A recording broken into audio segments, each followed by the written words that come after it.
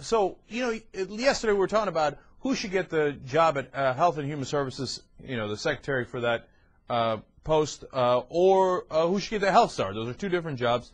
And I said at least one of them should go to Howard Dean. He's a doctor. He's already handled healthcare in Vermont. He's already shown that he has can bring real change to an institution like he did at the DNC, and shown tremendous success at DNC as governor of Vermont, et cetera, et cetera. It's an overwhelming case to be made for, right? And uh, today we had a senator join on board for that. Uh, Tom Harkin from Iowa, one of the most progressive senators. In fact, he was being considered apparently for one of those jobs. He said, no, you know what? I think Howard Dean should get it, and I think he's eminently qualified, etc. And I loved Harkin for saying that. Bless his heart for, you know, stepping up and, and telling it like it is, even if it's not to his political uh, benefit, standing up for Howard Dean, and he stood up for him in 2004, too back when uh, Dean was running for president. So that's good. That's great, in fact. I'm happy to see that. Although, again, I've seen two different lists now that did not include Howard Dean as a possibility, which drives me nuts. But the but that's not what set me off here, and that's not why it's at the top of the show. What set me off is towards the bottom of a piece actually written on Huffington Post. Um, they talk about conventional wisdom in Washington and at the White House. And the conventional wisdom is, well, it's very important that it not appear that the progressive community is backing Howard Dean. Because if it appears that way, then he won't be selected. And I was like, okay, all right. Let me try to understand why the hell that would begin to make sense since the president is theoretically progressive. So why wouldn't progressives being in favor of Howard Dean help him? Because, as we are told, it would appear that he's being pressured and that he uh, cannot give in to that kind of political pressure. Wait a minute. He gives in to political pressure. Democrats make a living out of giving in to political pressure from the right. And no one ever writes a damn thing about that. Conventional wisdom says, oh no, the president cannot be seen as caving in to the Republicans. No, they say, oh, he has to be bipartisan. Bipartisan. He has to be. He has to listen to what the Republicans say. But if he ever dares to listen to what progressives say, oh yeah, See, he caved into the progressive uh, political infrastructure, and look at these. Turns out he's a progressive. Well, isn't that why we elected him? I thought that's what we were campaigning for. I mean, this is madness, man.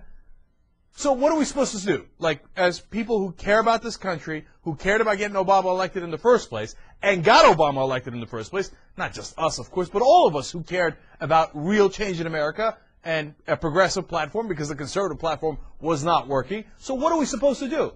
We're supposed to shut up? We need to be quiet because God forbid you should say something that makes sense because if you do, then it'll have to be ignored.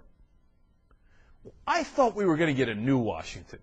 That's the old Washington, man, where if a progressive or a liberal ever says something, it's instantly devalued and mocked and marginalized and no way, yeah, yeah, liberals thought we shouldn't invade Iraq.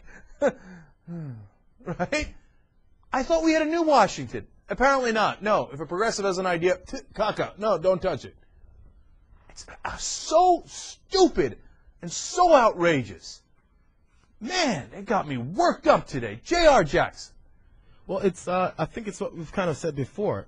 We're so afraid of of coming up with the fake truth that many conservatives have come up with, saying, "Well, if he listens to these radicals that are in that are on the left part of the country, then this is crazy. He's he's going so far radical, he can't do it. So, in hopes of trying to not get them to say, "See, see," they try not to do it from the beginning before before it's even done. They're afraid of what the end result because they've said it so many times in the past. No, but the thing is, yeah, you're 188 percent right. Okay, that's exactly it. But why do you give a damn what they say?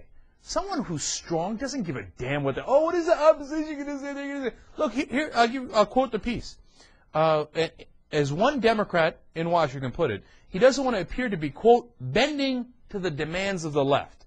Oh, God forbid. God forbid that you should actually care who, what your voters put you in office to do. Oh, no, that would be bending to the demands of the left. Have they ever written a piece about bending to the demands of the right?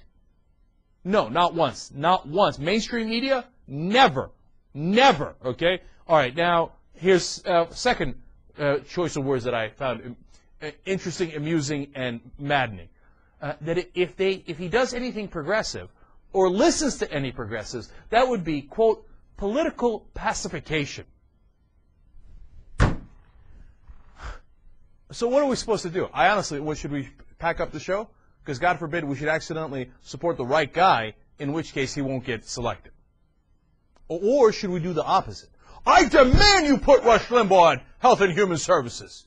If you don't want to pacify me, make sure you put in Howard Dean, because oh, I don't like that guy. I want Rush Limbaugh. I mean, what the?